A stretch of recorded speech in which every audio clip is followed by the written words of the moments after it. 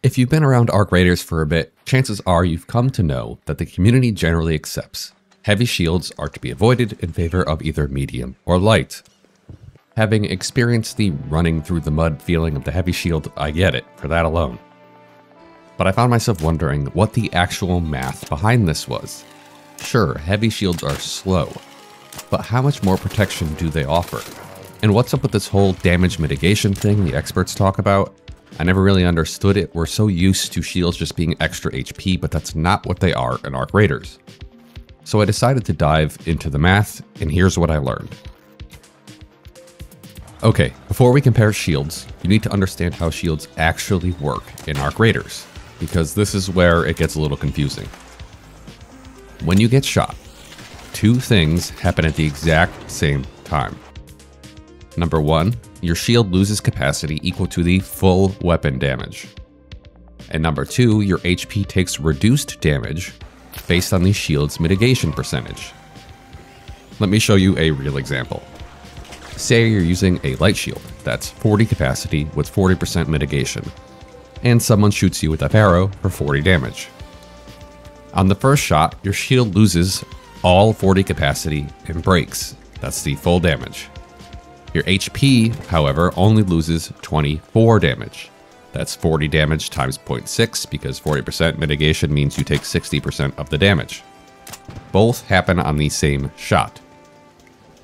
This is critical to understand because the shield's capacity tells you how many shots until it breaks, but the mitigation percentage tells you how much HP you're saving per shot.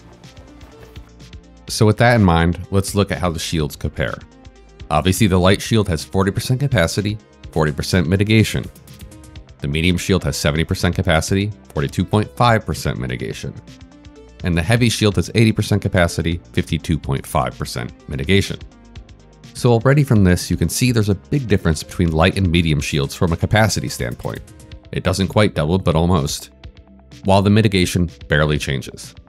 The opposite is true for heavy shields over medium shields, favoring an increase in mitigation with a much smaller bonus to capacity.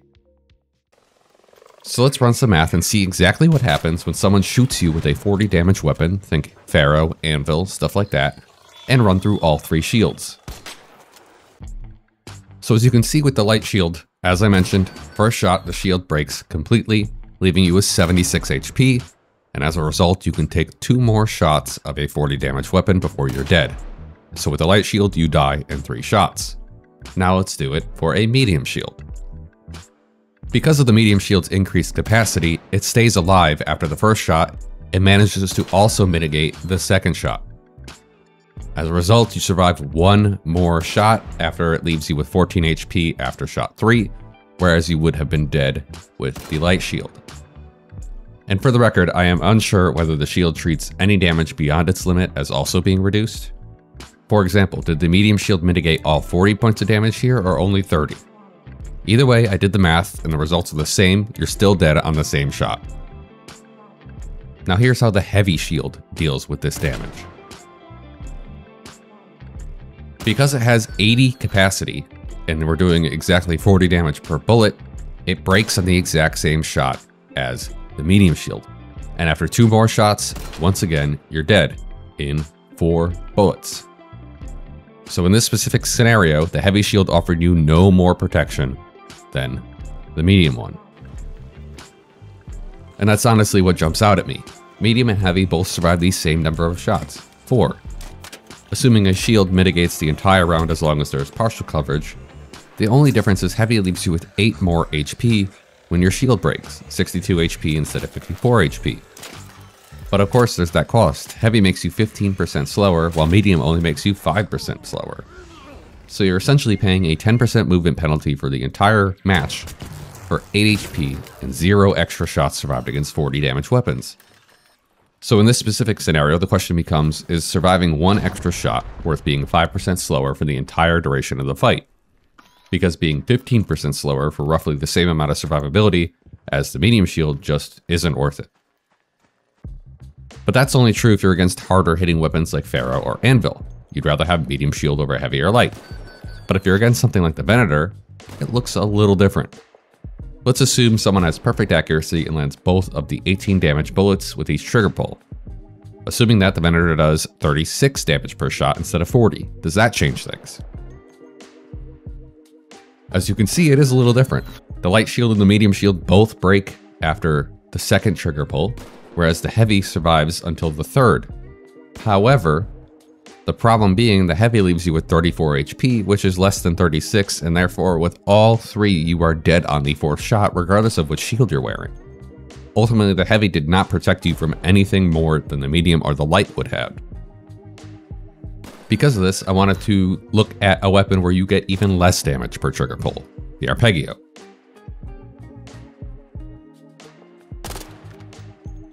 It's interesting here. With the light shield, your shield breaks on burst number 2. With the medium, it breaks on burst number 3. And the heavy also breaks at burst number 3. But again, with all of the shields, with burst 5, you die. It's slight. The light shield leaves you with 2 HP after burst 4. You're barely alive. And assuming you have completely full health and you're not taking damage from anywhere else, ultimately it's just as good as the heavy shield at protecting you from the Arpeggio. Now, undoubtedly, there are situations where a heavy shield results in a slightly longer survival time. But the reason everyone says to avoid it is that in a perfect world, with perfect accuracy, it's almost always worse than the other two options. And that's before you get to the movement speed penalty. Over a 10 second firefight, the heavy shield moves a full 9 meters of distance less than a light shield, whereas the medium is only 3 meters fewer. So what's the answer? What shield should you use? Ultimately, the critical threshold is about 40 damage per shot. Above 40, because of its capacity, the medium shield wins because the light shield dies one shot earlier. Below 40, the light shield might as well win because it has equal survivability and slightly better mobility. The heavy shield pretty much never wins.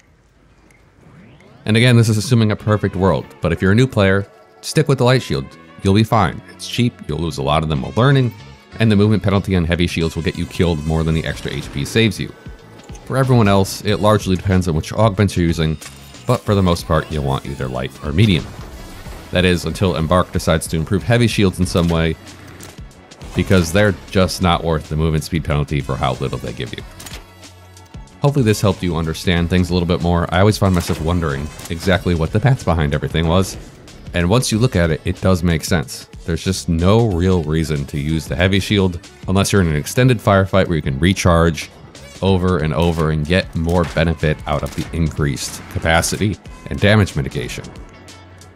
But in a straight up firefight where there is no recharging, where everyone's perfectly accurate, it's just not as good. For now though, I think that's it. I'll see you next time.